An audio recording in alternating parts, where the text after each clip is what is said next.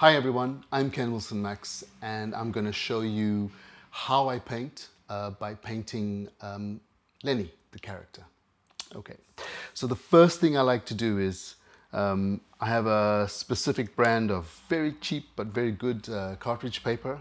It's usually about 300 grams, so it's quite thick. Um, it doesn't buckle uh, when you put too much water on it. And um, I also use anything to make a mark. Normally it's a pencil, but if I don't have a pencil, I'll use a pen. I don't really mind or care. Um, I also have a range of brushes, um, and they're either big, big thick brushes or sort of medium-sized brushes or fine brushes. So, you know, and I can get away with just using one of each. I, I don't have to have all of them here. It's just, uh, it depends how I'm feeling um, in that particular moment. And what I'd like to do is, what I like to do is I like to first draw the character I'm going to uh, paint um, because I don't want to be painting it twice or three times. And I'll start with, a, with the shape of the face. And in my experience over, you know, all the time of me doing books, I've realized that young children, toddlers have much bigger heads than, than, than they have bodies. So I try to make the heads, I'll start with something quite round, even though this may not be the final shape. Um, and then I'll start to fill in the details. Details like in this case, Lenny's uh, nose, which is just a tick. And once I have his nose in place, I know that I'm going to draw his eyes almost in a triangle. And I'll just denote just a quick sketch as to where they're going to go. I'm not worrying too much about details right now. I'm just making sure that I have um, everything, everything that I need to have to build his face. And now that I've put his features in and I'm quite happy with them, I will start to add his chin and his cheeks, which will tell me that I've drawn that first uh, shape a little bit too big. So um, especially when I add his ears,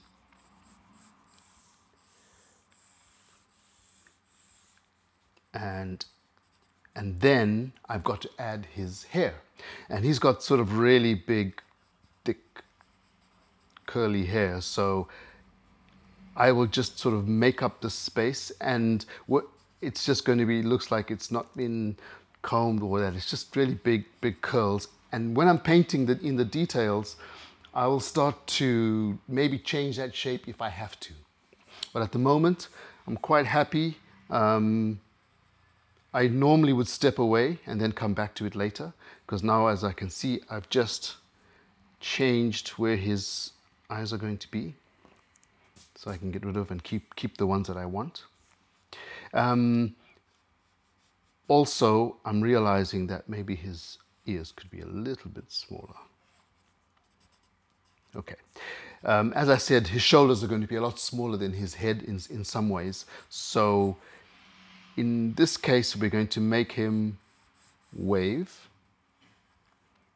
And what I like about children's fingers, just like the drawings, is that they're just very, very simple depictions of every, even children's fingers. I mean, real children's fingers are so simple. They're small and they're chubby. Um, and then his other arm is going to be round, round down by his side. We're not going to worry about that for now. And there's the bottom of his t-shirt. So we have the makings of a Lenny right here. Okay.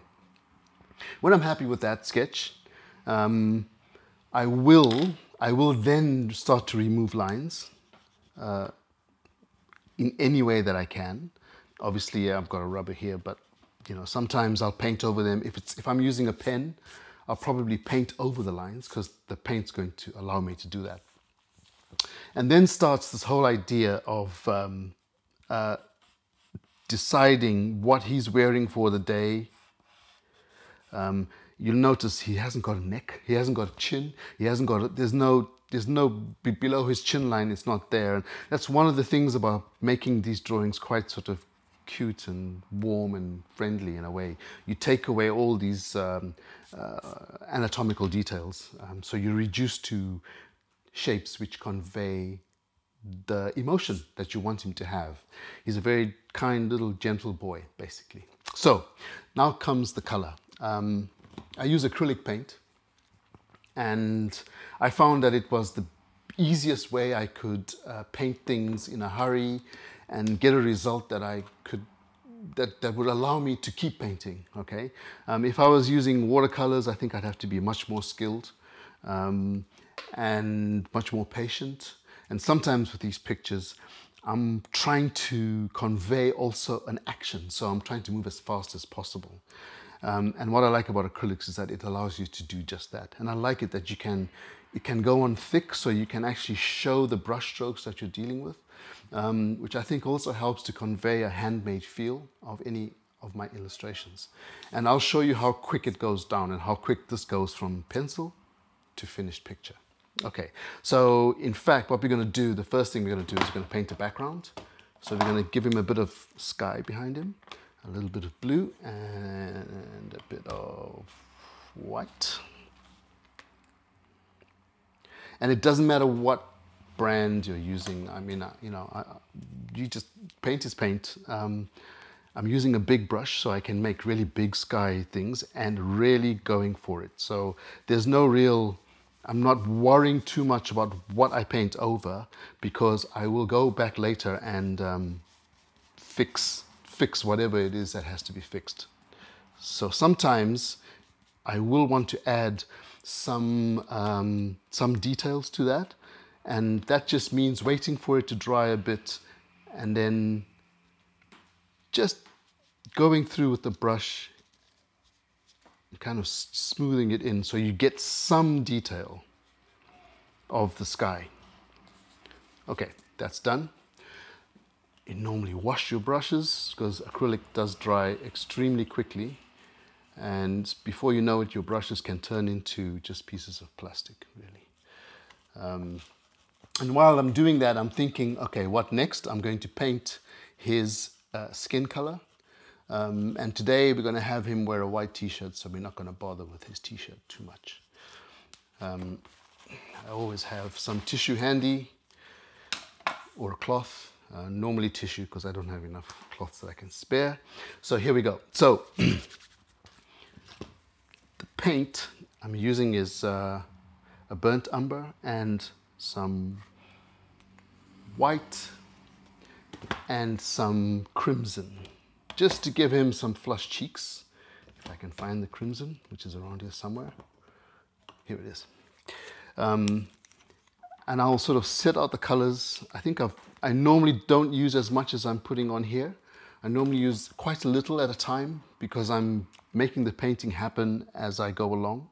And um, I know I'm going to use a lot of white because I'm going to mix it all, all into place. And because I'm working within a smaller space now, I'm going to try to, uh, you know, be a little bit more precise. So I'll take the brown and the white and I'll start to build what I think is his skin color.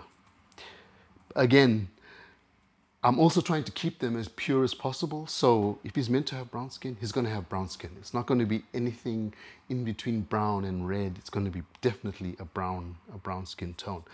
And I'm going to try to maybe leave an area for his eyes so I know just to give me a guide because this paint is not like watercolor it's not translucent. It's quite it goes on quite thick.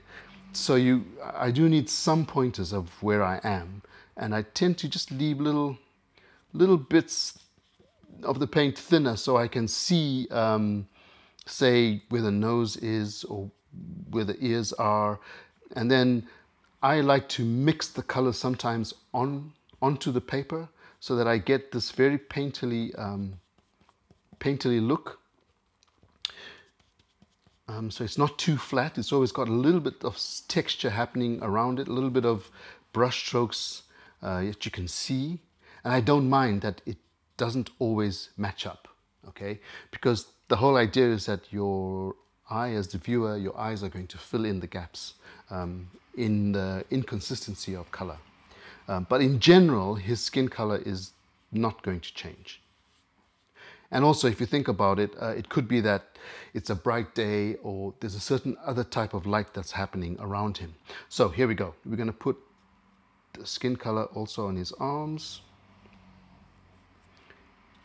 And even though I'm trying to be precise, as you can see, uh, it's not really working. So I'm not really worried because I'm going to have a, a line which goes over it and cleans everything up. And um, that's kind of that. And then for the details of his fingers, which I made sure I paint, I drew nice and thick uh, and chubby, I'm going to use another fine, br a finer brush just to get those details in. Um, but just for his cheeks now, I'm going to add a little bit of red so they kind of look a little bit more flushed and maybe above his forehead. Right. Wash that again. And now what I'm going to do is, um, I don't have to wash this one so thoroughly because we're going to paint his hair, which is black. And Lenny's hair is black, but it has these blue highlights, um, which I found was quite flattering. It makes it look as though light is falling on them, but you know, I, just quite a nice, it's better than just having a dense black area.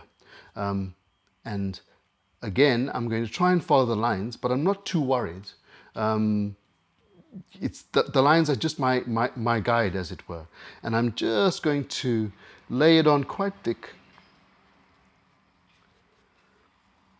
And imagine that, you know, he's sort of, he hasn't had his hair brushed for quite some time. And the details of his hair, the edges, I'll leave until I apply the line uh, in its own in its own time. So for now, I'm just covering areas and I'm not worried that the paint is mixing. That's not a problem yet. Um, it's not a problem at all, actually. It's just trying to get him to come alive. So there we go. We're almost there. Um, obviously, he could have a larger body of hair, I suppose, but I'm going to keep it just here. Right. I'm going to wash that. And later on, of course, I'm going to wash these brushes properly, otherwise they really will turn into sculpture, so which is not what we do, not what we want at all. Now, to paint the line, depending on the size of the image, I will use um, either this size brush or maybe something finer, something with a finer edge. And this one's quite soft, so it's really harder to be quite precise with it um, without making a squiggle. Um, but this other one, is about, it's kind of my go-to brush. In fact, it looks a bit like a pencil. So I really, really enjoy using it. And over the years, I've managed to use a black line or evolve the black line. So I'm quite happy with it now. In the beginning, I used to make a very squiggly line. Um, but nowadays it's a lot more fluid. And I will sort of start with, uh, I won't necessarily start with the features, although I might start with his nose, let's see. It just gives me an area of where to, to work from. I know where that's there. That's good for me. That's like an anchor point. Um, and then the rest is just kind of going around the outline, cleaning up the areas between the painted area and the paper and trying to, I will sometimes um, press down on the, on, pr press down on the paper with the brush so that it, the line goes thicker or lift it slightly to get a finer line. And I'm constantly doing that all the way through doing a stroke. So for instance, this is quite thick now, but then I can sort of bring it up a bit um, and then bring it down again so that it's always doing that.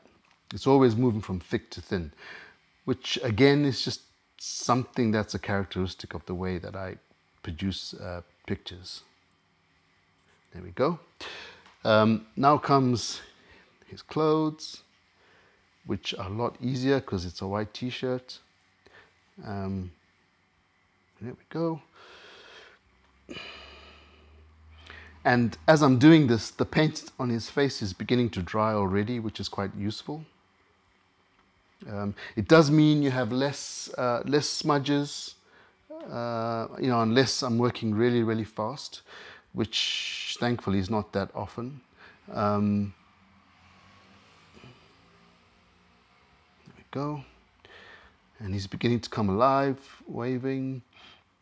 And as I said, I paint the nose first because that's just the anchor. And then I, it's like when it, all the other lines are, are done, the most important parts of this image are going to be his eyes and the way he smiles. Because if I get those wrong, then the feeling of the picture's also going to be wrong and um, might lead to me having to, to, to start again. Okay. So, uh, also over the years, I haven't quite um, stuck to I've tried I've always tried to evolve the style so that I'm trying to add little bits of detail here and there where I can um, but still keep it quite young it's almost like the way some painters from the impressionist era used to take out details in order to give you an overall feeling this is along those lines but I mean I wouldn't ever say it was an impressionist painting so it's just the same idea that you can just use large areas blocked in with color or nothing in order to convey something um, rather than go in and, and make, make details which you may not need or which the audience may not be able to notice. And the audience in this case is, you know, three-year-old children, two-year-old children, so they don't need to notice much more than than what's than what's immediate to them. So there we go.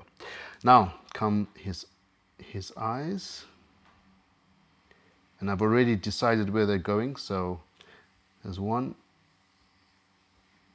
there's another. And the final piece of this puzzle is his smile. And we're going to, and then we'll add a little bit of animation and uh, maybe a bird or two. There's Lenny.